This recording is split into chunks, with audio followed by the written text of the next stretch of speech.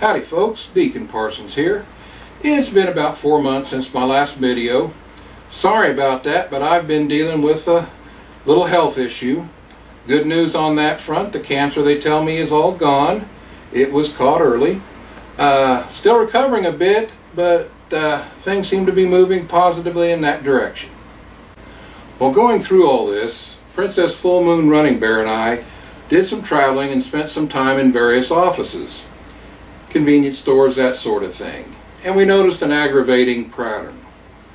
In most places with two restrooms, one's marked for males and the other's marked for females.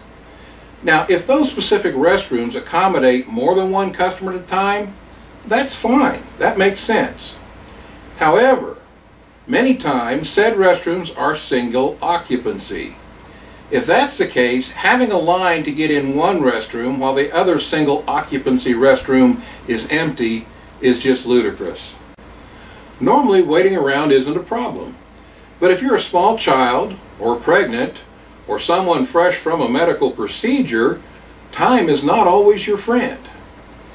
Now, I looked up online, and, and many companies sell unisex restroom signs, some with nice self-adhesive backs, for as little as $10 each. I know it's a small thing for most people, but this is a bipartisan issue that everybody can get behind if they think about it. Next time you see this circumstance, take a moment to politely mention to the establishment that unisex restrooms make better use of their facilities and serve their customers. You can also like and share this video and spread the word. I'm sure most people are like me, never really thought about it until it became a problem for them. This is Deacon Parsons saying, love your maker, love your mate, and do what's right because it's right, and devil take the hindmost.